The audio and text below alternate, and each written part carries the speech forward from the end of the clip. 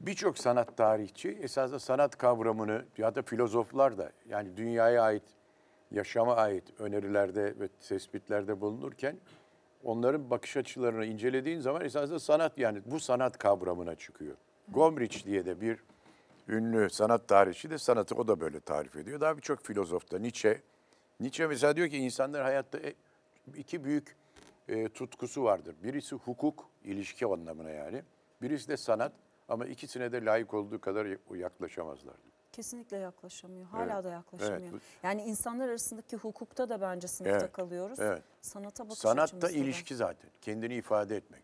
E, İngilizlerin şöyle bir lafı var. İnsanların en büyük korkusu başkaları tarafından yanlış anlaşılmaktır diyor.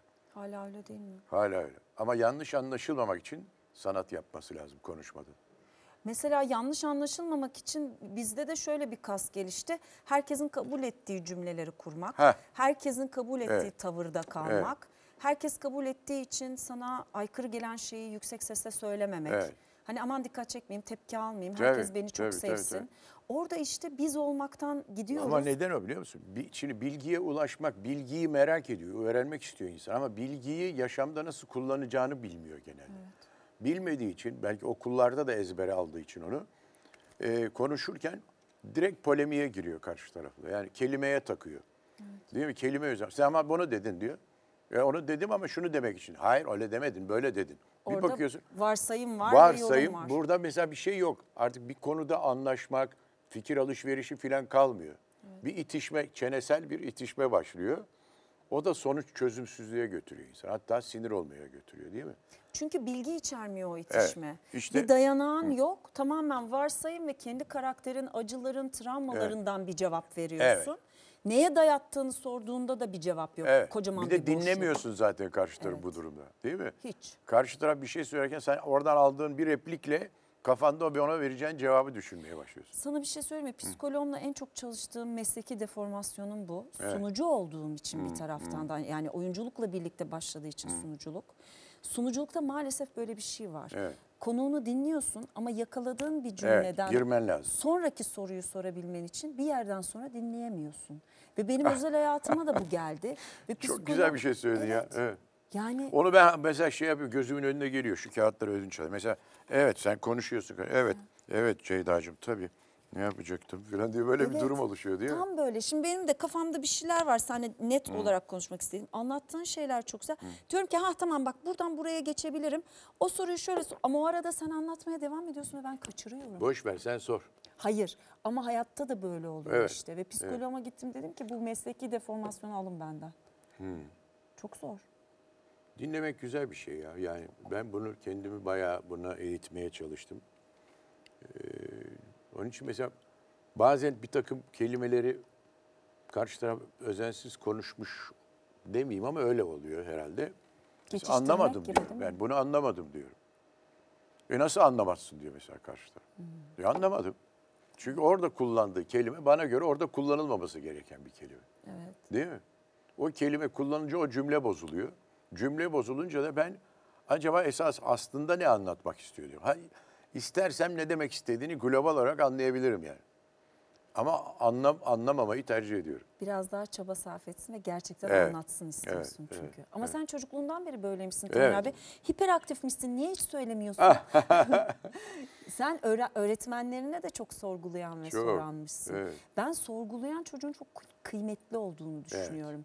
Her verilen bilgiyi olduğu gibi kabul etmeyen, e, neden ki, niye bu böyle, neden şimdi onu dedin ki diyen çocuğun bizi kurtaracak çocuklardan biri olduğuna Harikasın. inanıyorum. Ve o, bak bu çağa geldik. Şimdi eskiden öğrendiklerimizle bugün konuşuyor olsaydık mesela bu bu çocuk makbul bir çocuk olmayacaktı. Evet, Değil mi? evet. Ama bu çocuk ama isyankar, bu çocuk uyumsuz, bu çocuk şu lüzumsuz, Hiperaktif, hiper işte- lüzumsuz sorular soruyor, lüzumsuz davranışlar. Bunlar adam olmaz. Evet. Bir dönem böyle geçti Evet, ama ve hala böyle, bence evet. böyle düşünenler var. Ben hiperaktif tanısının da çok kolaylıkla konduğunu ya da bu etiketin çok çabuk yapıştırıldığını Tabii. düşünen isyankarlardanım bu Tabii konuda. tabii. Şimdi bir de hastalık adı gibi oldu. Eskiden Evet. biraz hiperaktiflik şeydi. Zeka belirtisi. Zeka belirtisi gibiydi ama şimdi hastalığa dönüştü. Bir tanı oldu Tabii, ve tanı oldu. çocuğun da kendini kötü hissetmesine ve sorgulamaktan vazgeçmesine sebep tabii. oluyor. Sonra da diyoruz ki gençler niye sorgulamıyor? Tabii. E diyor yani ben o zaman arkadaş çevresinde diyorum ki e sen susturdun çocuğu. Ya Soruyordu bu çocuk. Yaldır yaldır Ya. sorarak geliyordu yani. çocuğun doğarkenki masumiyeti ve genetik olarak aldığı birikimi biz e, bu yaşama dönüştüremiyoruz. Aksine onu geçmişten gelen e, kendi ka- e, şeylerimize, e, katı Kalıplarımıza. kalıplarımıza sığdırmaya çalışıyoruz. Seni susturmaya çalıştılar mı? Çocukken Evet bu Yok, soruları pek- sorarken pek sana. çalışmadı. Yani arada bir ukala derlerdi. Bu kalaya da geleceğim. Aslında hazırsan gelmişken Olur, gelmek tabii. istiyorum.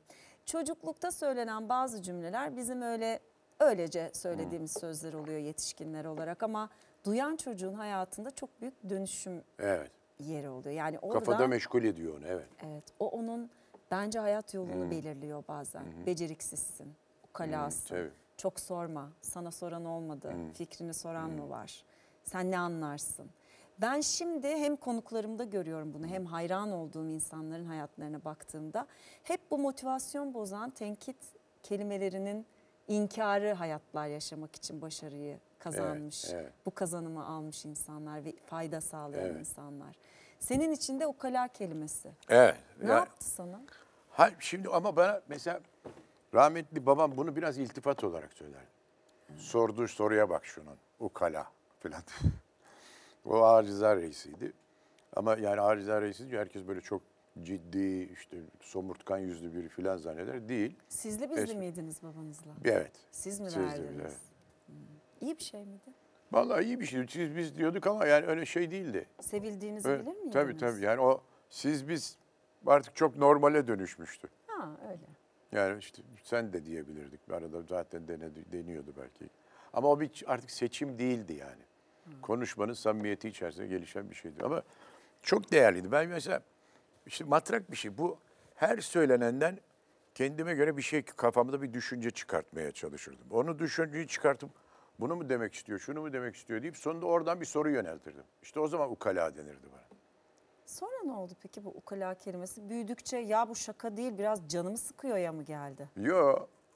Ee, işte e, benim hariciyeci olmamın çok iyi olacağını, bana çok yakışacağını düşündüler. Yalan değil olmuş Evet. yani. Ama iyi ki aktör oldu. Ailede de var zaten. Dolayısıyla ben mesela lisede ağırlıklı fen okudum. Ama sonra gittim e, siyasal bilgilerin e, yedeğini kazandım. Sonra asil oldum. Ön kayıt yaptıracakken konservatuar sınavına girdim filan. Konservatuar sınavına girerken yaşım biraz geçmişti. Onun için seviye sınavına girdim. Yani Bakanlar Kurulu kararıyla kazandığım e, kabul edilmesi gerekiyor. İşte parasız yatılı, burslu filan alıyorsun. Yani öyle tuhaf yani. Mesela başka bir yere giderken aniden başka bir yere dönmüş oldum Bu filan. senin kendi kararın mıydı? Evet. Baban ne dedi? Şubat tatilinde öğrendiler. Ne? Evet. Gizli mi yaptın bunların hepsini? Evet. Sonra tam muzurmuşsun. Evet. Sonra ne oldu? Sonra bunu söyledim. İşte şaşırdılar önce. Sonra madem kendin karar verdin o zaman e, hayırlı olsun dediler. Sohbete devam ettik.